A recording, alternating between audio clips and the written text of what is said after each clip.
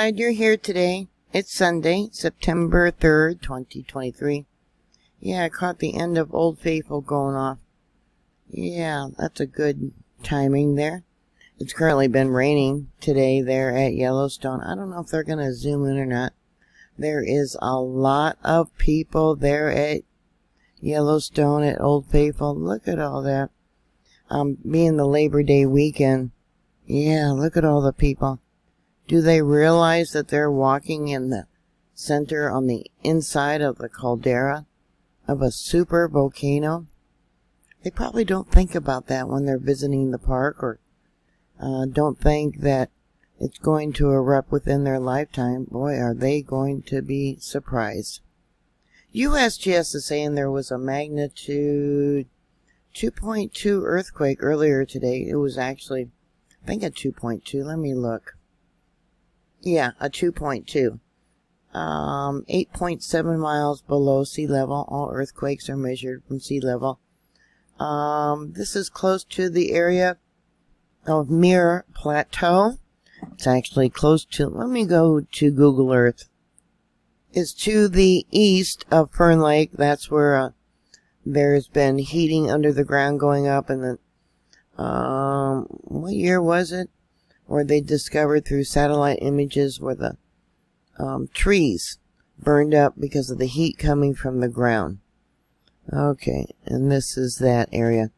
Um, yeah, Parker Peak we got over here. This here is the monitor for Parker Peak, and it actually came in as a magnitude 2.92, almost a magnitude 3. It probably could have been a 3. Uh, let me go here. I, I cut it off really early. Let's go to the seismic signature. I'll have to make that bigger. Yeah, I cut it off really early. And it probably extended um, to probably over in here in this area. Um, 2.92. And you can see there was two small earthquakes afterwards.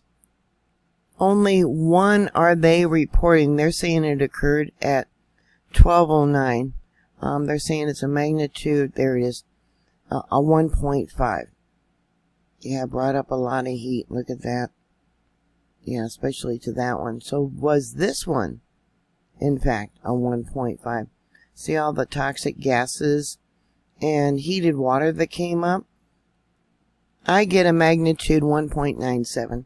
Those of you that have larger uh, screens, maybe on your TV, that are watching this, down at the bottom, it says MD 1.97.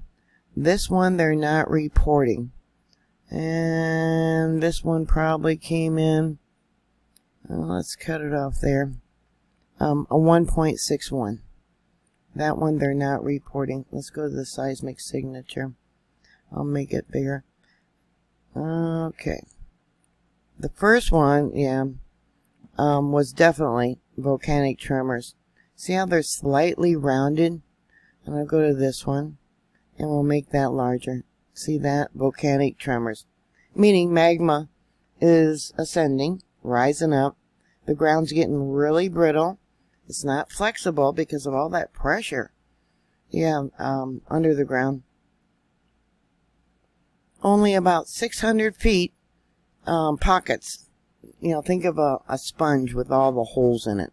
You know, those um, sea urchin type um, sponges. And there's pockets within the sponge, and there's pockets of melted rock only 600 feet underneath where people are walking. Yeah, they probably don't think about that either. Yeah, I'm glad they finally zoomed in. Well, it looks like the cam. Oh, they moved the camera. Okay. Yeah. I've talked about how the sun's activity when there's solar flares has an effect upon the Earth. Um, they were expecting maybe a KP index of maybe a 4, but you can see here, um, almost 6. What do we got here? 5.67. And currently, it's at a KP index of 3. Um, these are 3 hour increments yeah, we got 3.3 and etc. let me show you this. So I talked about these solar storms, how they have the effect on the Earth, uh, creating earthquakes, possible volcanic eruptions, and weather. Like I said, it's been raining there today. Here on their watches and warnings, they originally said that they expected a geomagnetic storm of um, index of 4. But what's interesting about that is they're going to have northern lights, maybe um, up in Canada and Alaska. Let's see. Um, do they give the uh, 65 degree latitude?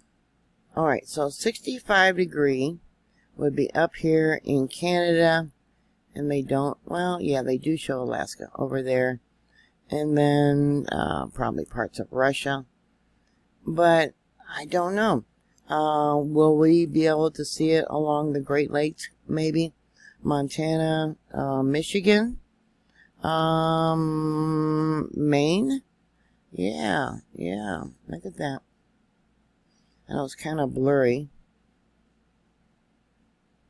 This was issued at 9:16 Universal Time. So that was um at least 9 hours ago. So 9 hours ago it was 3.67. Prior to that um 4.76. And yesterday I talked about this M-class flare that went off, M3.29. We got another one that went off today, um, M6. Wow, they're increasing in size. Boy, um, hopefully we do not have an X flare. Now, the X flare that created the uh, Carrington event, I believe, well, I want to say 9. Now, here it says it was, um, yeah, a 10. That was in 1859. It was the largest documented solar flare in the last 500 years. They didn't have equipment back then, so they're just guessing that it was um, an X flare of 10. USGS, yeah, they're probably enjoying their Labor Day vacation too, is only reporting two earthquakes. But here you can see there's multiple here on Parker Peak. Uh, this is probably the largest one. Am I, oh, it went small on me, didn't it? Okay, there we go. It's got a long P wave on it. It did register across all five monitors that I have recorded here. Next to Parker Peak is Maple Creek. Then we got West Thumb, um, Holmes Hill, and Moose Creek, Idaho. Here it is for Parker Peak. I have to look up to see where that one occurred. The first wave of the earthquake, wherever it was at, came in at 1550 Universal Time. Yeah, it, it made Yellowstone slosh. Yeah, volcanic tremors. We're looking for something before 1550 Universal Time and they have nothing, absolutely nothing. So once again, that's an earthquake. They're not reporting. Let me look on EMSC. Yeah, we got 1550 from Nevada, but that would not be it because it's only a magnitude 2.3, uh, 14 kilometers in depth. And then they got 1640 Fiji 4.4. Um, that was real deep but it's afterwards, so that is not it. I get a magnitude 3.26. Um, yeah, I don't know where it's at. Not a very large earthquake. Um, but they did not report it. Let me go back to the, um, yeah.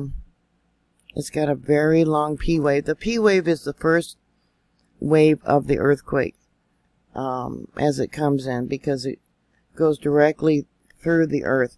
And then the S wave, think of surface. That would be the second wave of the earthquake. See, this is a P wave.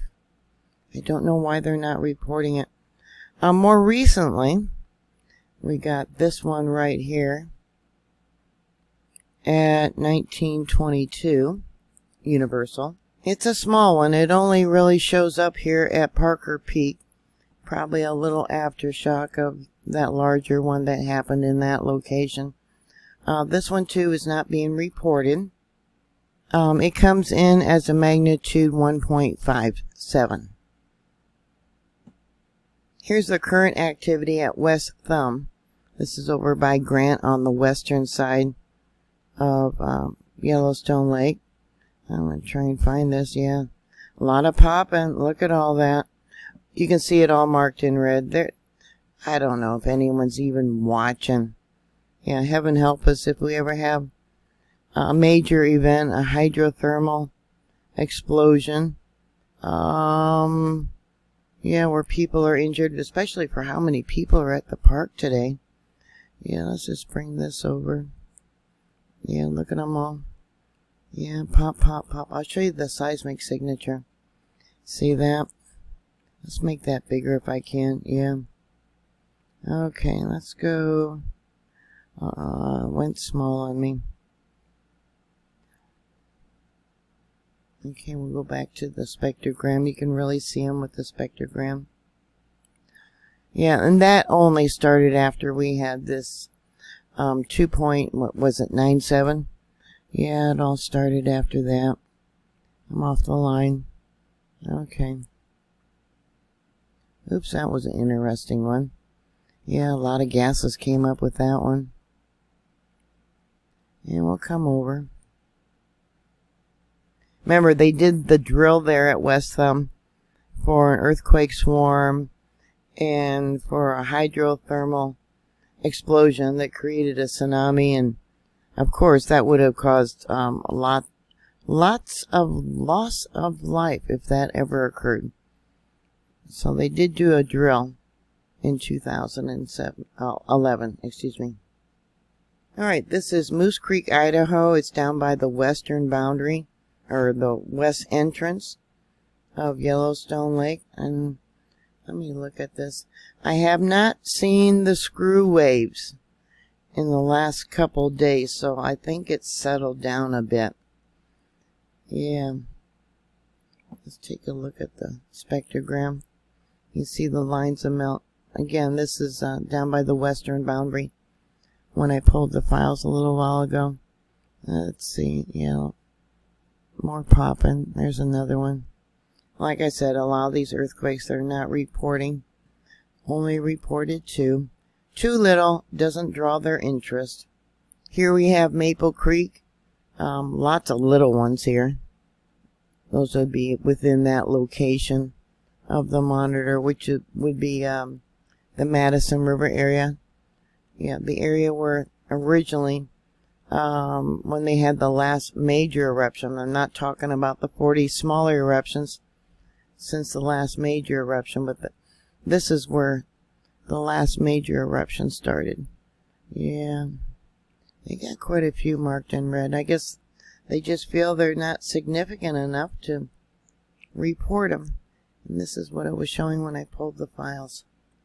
And this is Holmes Hill, close to the same location. Yeah, we got, yeah, see how it's way up here in that lighter light blue? Yeah, the pockets of melt. Yeah. I had to download some different data. There's a lot of monitors that aren't working today. Um, my daughter says maybe on purpose. Yeah, I couldn't get the boreholes to work. Yeah, I don't know. At least I got the camera working. That was down for a few days. Here we have Beehive and I don't know, looks like this fella, at least right here, he brought his own chair so they can watch it. Uh, maybe they're hoping Beehive will go off. Normally, before it goes off, there's another little vent over here that will start spouting um, prior to Beehive. Beehive's a pretty spectacular little cone. Yeah, a little geyser. And then you can see um, the um, microbial mats up behind here. Yeah. But unless this other vent starts venting, they, they're going to have a little bit of a wait. At least he brought his chair. Yeah. Anyways, that's all I have for you right now. Yeah, you see one person watching, then the other stop to see what's going on. Yeah, I don't think it's going to go off for a little bit. wasting their time. Um, if you have any thoughts or comments or questions, please put those down below. Thank you very much for watching. Thank you for subscribing. Be safe this Labor Day weekend, and I'll talk to you later. God bless you. all. Bye.